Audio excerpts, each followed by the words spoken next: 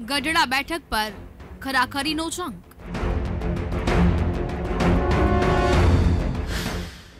ભાજપે જૂના જોગીની ટિકિટ કાપી.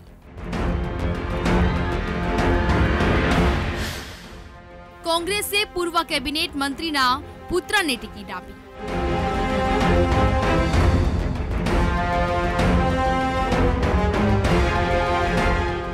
રાજ્યમાં વિધાનસભા ચૂંટણીનો માહોલ બરાબર જામ્યો છે.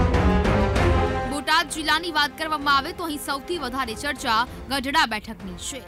ભૂતકાળમાં પણ આ બેઠક પર કોંગ્રેસ અને ભાજપ વચ્ચે ખરાખરીનો જંગ ખીલાયો હતો. અને વર્ષો પછી ફરી એક વખત આ બેઠક ચર્ચામાં છે.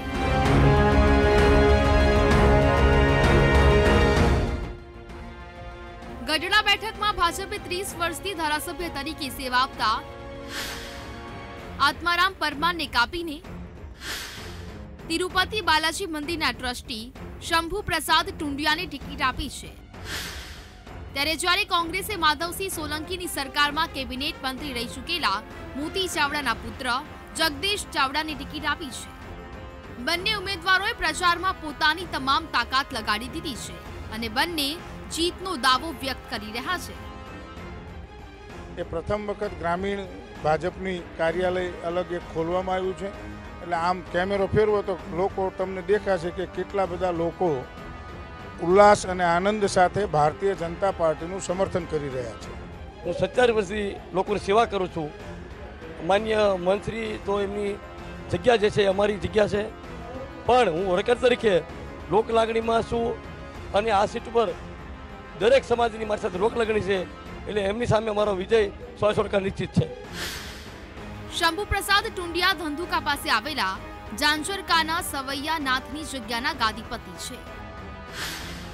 અગાઉ તેઓ રાજ્યસભાના સાંસદ પણ રહી ચૂક્યા છે.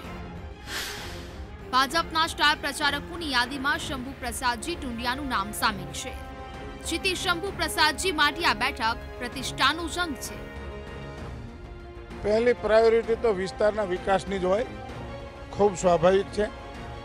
કે કોઈ પણ ચૂંટાયેલો પ્રતિનિધિ પોતાના ક્ષેત્રના વિકાસ માટે જંગતી જનતાની જે પણ દાદ, ફરિયાદ કે વિકાસની વાત હોય, એ મેં કહ્યું એમ કાર્યાલય ખોલી અને હું લેવાનો છું. મેળવ્યા પછી વિસ્તારના વિકાસને પ્રથમ પ્રાયોરિટી છે. મહંત શંભુ પ્રસાદજી ટુંડિયા સામે કોંગ્રેસના લડાયક નેતા અને પૂર્વ કેબિનેટ મંત્રીના પુત્ર જગદીશ ચાવડા ચૂંટણી લડી રહ્યા છે. તેમનો આક્ષેપ છે કે ભાજપે માત્ર વચનો આપ્યા છે. ગઢડામાં વિકાસના કોઈ જ કામ થયા નથી. વાયદા વેપારમાં ગુજરાતના ખબર છે કે ગરડામાં ઘણા વાયદા આપ્યા છે, પણ એક પણ વાયદાનું પાલન કર્યું નથી. ખેરા નદીને સફાઈનો મુદ્દો હતો, પશુ દવાખાનો મુદ્દો હતો, રોડ રસ્તાનો મુદ્દો હતો, ડેમના પાણી નાખવાનો મુદ્દો હતો, ઉમરાળામાં કોલેજનો મુદ્દો હતો, વલભીપુરના બિલ્ડિંગો જે છે, એ જરી છે, એ નવાનો બનાવવાનો મુદ્દો હતો. એ એક પણ બાબત આ સરકારના મંત્રીશ્રીઓ સરકારે અમલ કર્યો નથી, ખાલી વચનો આપ્યા છે.